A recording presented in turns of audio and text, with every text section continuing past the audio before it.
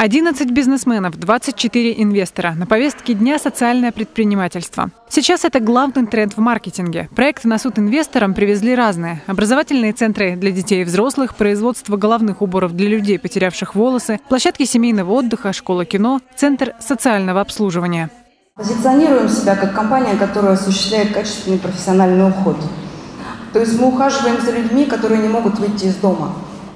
Встреча инвесторов и социальных предпринимателей – событие уникальное. Это своего рода пилотный проект. О нем мечтали 6 лет, еще 6 месяцев готовились. Среди потенциальных инвесторов – представители банков, власти, бизнеса и частные лица.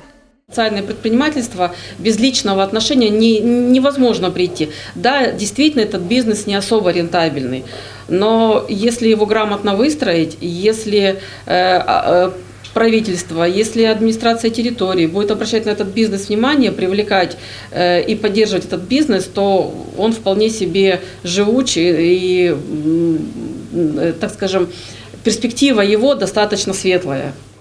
Организаторы отмечают, что пилотный проект состоялся. Для инвесторов социальный бизнес стал более понятным. Предприниматели же на деле поняли, как общаться с инвесторами. Организаторы увидели сильные и слабые стороны проекта. Все это учтется при подготовке инвестиционного подиума в следующем году. Дарида Миллер, Алексей Фризин. День с толком.